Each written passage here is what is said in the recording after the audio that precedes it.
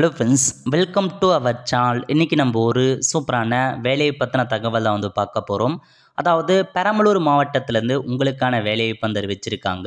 இப்போ அந்த வேலைக்கு யார் யாரெல்லாம் அப்ளை பண்ணலாம் இது தேவையான எலிஜிபிலிட்டி என்ன இதை பற்றின மொத்த இன்ஃபர்மேஷன் தான் இந்த வீடியோ வந்து பார்க்க போகிறோம் இந்த வீடியோ ஸ்கிப் பண்ணாமல் ஃபுல்லாக பாருங்கள் அது மட்டும் அல்ல இந்த வீடியோ நிறைய பேருக்கு ஷேர் பண்ணுங்கள் ஓகே அதாவது பெரம்பலூர் மாவட்டத்திலேருந்து சேல்ஸ்மேனுக்கான வேலைவாய்ப்பு வந்து அறிவிச்சிருக்காங்க. டோட்டலாக முப்பத்தோரு வேகன்சி கொடுத்துருக்காங்க.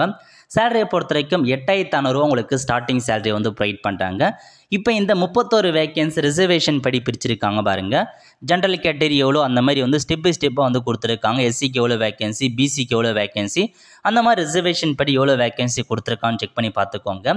இந்த வேலைக்கு அப்ளை பண்ணுறதுக்கான கடைசி தேதி வந்து ஏழு பதினொன்று ரெண்டாயிரத்தி இருபத்தி நாலு. அதுக்குள்ளே இந்த வேலைக்கு ஆன்லைன் மூலமாக அப்ளை பண்ண பாருங்கள் நெக்ஸ்ட்டு வயது வரம்பு. நீங்கள் மினிமம் பதினெட்டு வயசு கம்ப்ளீட்டாக இருக்கீங்க அப்படின்னாவே இந்த வேலைக்கு அப்ளை பண்ணலாம். அதிகபட்சமாக ஓசி கேட்டகரி முப்பத்தி ரெண்டு வயசுக்குள்ளவங்க அப்ளை பண்ணிக்கோங்க. இதுவே நீங்கள் SC ST BC MBC DNC கேட்டகரியாக இருக்கீங்க அப்படின்னா உங்களுக்கு நோ மேக்ஸிமம் ஏஜ்மெண்ட் கொடுத்துருக்காங்க. எவ்வளோ ஏஜ் வரைக்கும் வேணாலும் இந்த வேலைக்கு நீங்கள் அப்ளை பண்ணலாம். ஓகே நெக்ஸ்ட்டு கல்வி தகுதி கொடுத்துருக்காங்க. கல்வி தகுதியை பொறுத்த வரைக்கும் சேல்ஸ்மேன் ஜாபுக்கு பன்னிரெண்டாம் வகுப்பு பாஸ் பண்ணியிருக்கீங்க அல்லது டிப்ளமோ முடிச்சிருக்கீங்க அப்படின்னா அப்ளை பண்ணலாம். அதுக்கடுத்து முக்கியமான இன்ஃபர்மேஷன் தமிழ் மொழி இருக்குது பாருங்கள் அதில் உங்களுக்கு நல்லா எழுத படிக்க பேச தெரிஞ்சிருக்கணும் அப்படின்றத சொல்லியிருக்காங்க. அது அவசியமானது. இந்த வேலைக்கு எப்படி செலெக்ஷன்ஸ் பண்ணுறாங்க அப்படின்னா நீங்கள் டுவெல்த்தில் எவ்வளோ மதிப்பெண் எடுத்தீங்களோ அதுலேருந்து ஐம்பது பர்சன்ட் மதிப்பெண் எடுத்துக்கிறாங்க.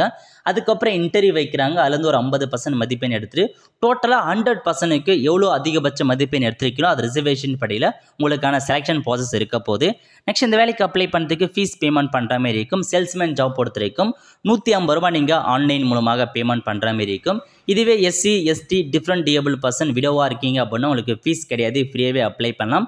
மீதி இருக்கவங்க மட்டும் ஆன்லைன் மூலமாக பேமெண்ட் பண்ண பாருங்கள் இந்த வேலைக்கு எப்படி ஆன்லைன் மூலமாக அப்ளை பண்ணி கொடுத்து நம்ம சேனலில் வீடியோ வந்து போட்டிருக்கோம் ஸ்டெப் பை ஸ்டெப் வீடியோ அதுக்கான லிங்க்கை நான் டிஸ்கிரிப்ஷன் வந்து கொடுத்துறேன். அந்த வீடியோ பார்த்து நீங்கள் அப்ளை பண்ண பாருங்கள் இதற்கு நம்ம சேனலை சப்ஸ்கிரைப் பண்ணாதவங்க மறக்காமல் சப்ஸ்கிரைப் பண்ணி வச்சுக்கோங்க. அப்போ தான் வந்து மாவட்ட வாரியாக வர எல்லா கவர்மெண்ட் ஜாப்ஸுமே ரெகுலராக அப்டேட்டாக உங்களுக்கு வந்து சேரும். தேங்க்யூ